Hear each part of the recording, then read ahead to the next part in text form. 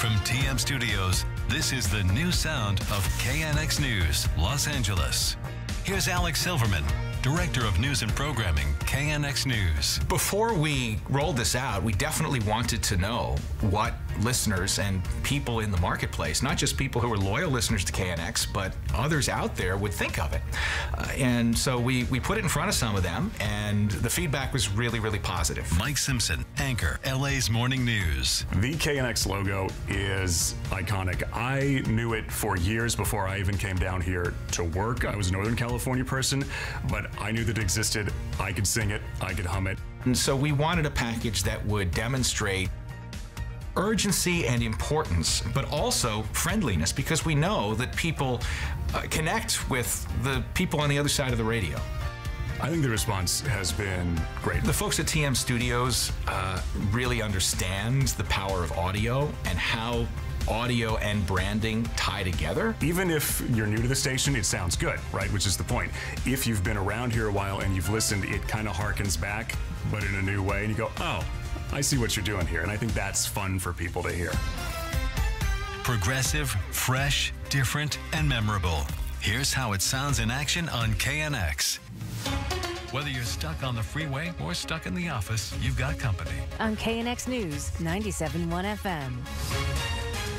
944. I'm Mike Simpson. And I'm Vicki Moore. Coming up on LA's Morning News. Hundreds of thousands of Southern Californians getting help with the pandemic.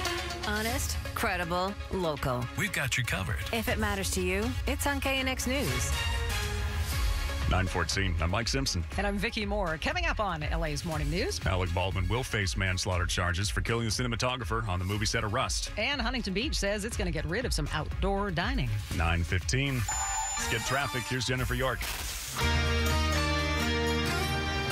This is LA's Morning News. On KNX News, 97.1 FM. the people you know. The voices you trust. 930. I'm Mike Simpson. And I'm Vicki Moore, and it's breaking news we've been following for you. A criminal charges being filed for the death on Alec Baldwin's movie set in New Mexico. The DA's been talking. Alec Baldwin's lawyer is.